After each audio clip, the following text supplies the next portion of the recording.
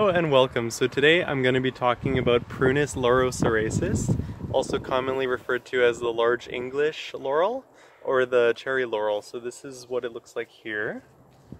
Uh, it's a large member of the Prunus family, which is known for many uh, fruit trees, such as the plum.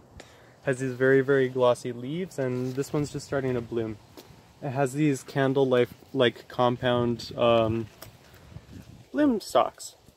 So it produces these really nice dark blue, almost black berries in early fall, which are edible to humans, but in very, very small quantities.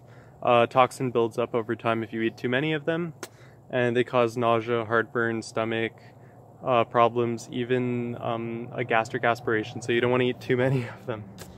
Uh, this is a large member of its genus.